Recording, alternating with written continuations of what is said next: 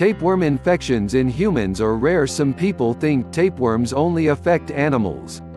But while these infections can occur in cows and pigs, it isn't an animal-specific condition. Tapeworms can also infect humans, although it's not a common infection. The Centers for Disease Control and Prevention (CDC) estimates there are less than 1,000 trusted source new tapeworm infections in humans in the United States each year. Tapeworms are flat worms that can live in the intestines. Humans can get these worms after eating the undercooked meat of an infected animal. This includes infected pork, beef, or fish. Dogs and cats can also get tapeworms, but their infections rarely trusted source pass to humans. Oftentimes, dogs and cats get an infection after swallowing a parasite-contaminated flea. Treatment for tapeworms in humans It's important to note that some tapeworm infections don't require treatment. Sometimes, the tapeworm leaves the body on its own. This is why some people never have symptoms or only have mild symptoms. If a tapeworm doesn't leave your body, your doctor will recommend a treatment based on the type of infection. For an intestinal infection, you'll need to take an oral medication to get rid of the tapeworm. Antiparasitic drugs used to treat intestinal infections may include praziquantel, biltricide, albendazole, albenza, nitazoxanide, Alinia. After completing treatment, you'll have a follow-up stool sample to ensure the infection has cleared. If you have an invasive infection and the tapeworm forms a cyst or a lump, your doctor may prescribe an anthelmintic drug to shrink the mass. This is a type of antiparasitic medication. Sometimes, doctors recommend surgery to remove a large cyst or lump.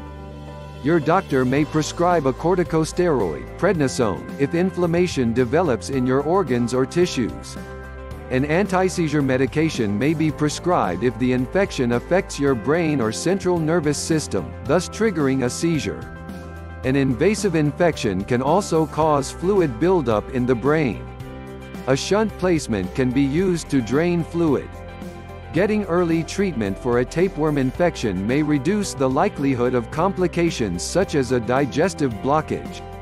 A large-sized tapeworm may block the appendix, bile ducts, or pancreatic duct. This may reduce organ function and blood supply. Do home remedies work for tapeworms?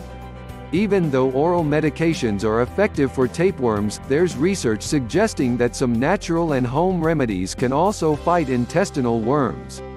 In one study, different dosages of papaya seed infusions and varied amounts of whole papaya seeds were given to chickens infected with intestinal parasites. After two weeks of treatments, the chickens treated with the papaya seeds had a significantly lower number of intestinal worms. In addition to papaya seeds, there are also claims of other natural dewormers. These include garlic, pumpkin, and ginger. These herbs have had antiparasitic effects in some animals, but more research is needed to confirm the benefits in humans. If you're thinking about using a natural or home remedy for tapeworms, consult your doctor for dosing information.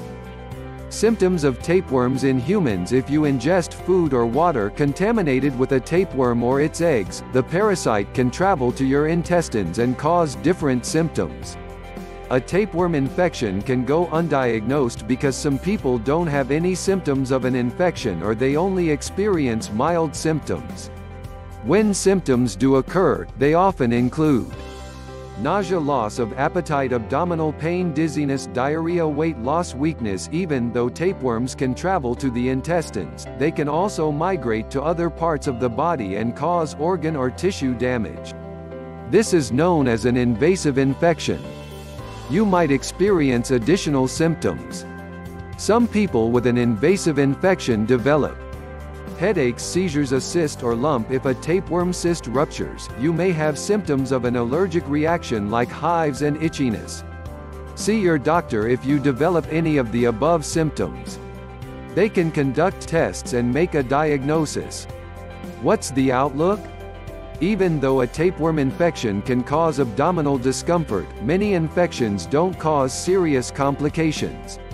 In fact, you may have a tapeworm infection and not even know it, especially if the tapeworm exits your body on its own. If your doctor confirms you have a tapeworm infection, follow their instructions to lessen the risk of complications. If left untreated, there's the risk of developing an invasive infection which can affect your tissue and organs. This can lead to brain swelling, inflammation, and intestinal blockage. How to prevent tapeworms in humans Tapeworm infections are preventable. Prevention starts with good hygiene. Always wash your hands after using the bathroom and before handling food.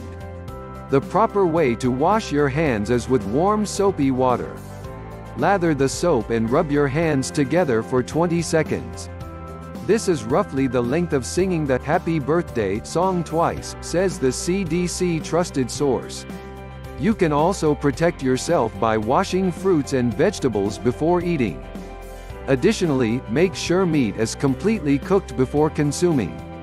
Eating raw or undercooked pork, beef, or fish raises the risk of infection. If you suspect tapeworms in a family pet, speak with your veterinarian about treatment.